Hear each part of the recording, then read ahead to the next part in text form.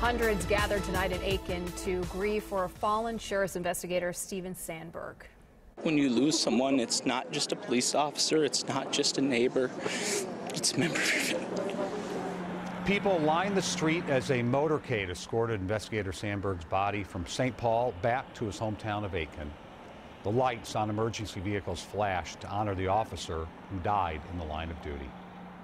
WCCO's Jennifer Mayerle was there for the emotional tribute. Were few dry eyes as the Aitkin community came together in sadness and disbelief over the loss of Aitkin County investigator Steven Sandberg. It's just, it's so senseless. I just don't know what to say. Rob Williams coaches Sandberg's daughter.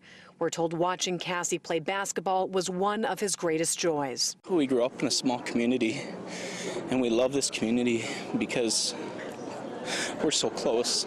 Most in the small town know the 73 Aitkin High School grad and the sheriff's investigator who was a longtime volunteer firefighter. I can't imagine losing such a wonderful man. He was the sweetest, nicest man you ever knew.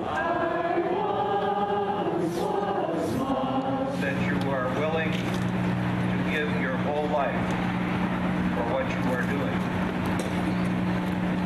And indeed, Steve showed us what that meant. Hundreds lined the street as Sandberg's body was brought home. Words can't describe just the, the feeling of loss that everybody has right now. Firefighters saluted the procession of vehicles, which included Sandberg's wife, Christy, and his daughter. Just to see the, the squad cars go by as we watched them go by and see the people out on the street corners and, and uh, on the sidewalks along the route, they, they were overcome. When you lose someone, it's not just a police officer, it's not just a neighbor, it's a member of your family.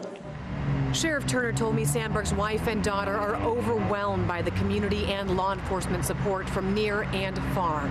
Investigator Steven Sandberg will be laid to rest on Friday. He is the first deputy in Aitkin County to lose his life in the line of duty.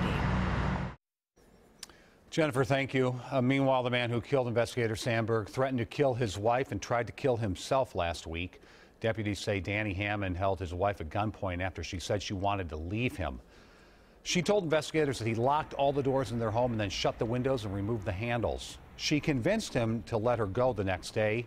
Deputies later found Hammond in critical condition after he tried to kill himself. Investigator Sandberg was keeping an eye on him as he recovered at St. Cloud Hospital. He was able to get his weapon away and kill him. He faced 11 felony charges for the incident with his wife. Hammond died after a hospital security officer used a taser on him. Stay with WCCO for continuing coverage of investigator Sandberg's death.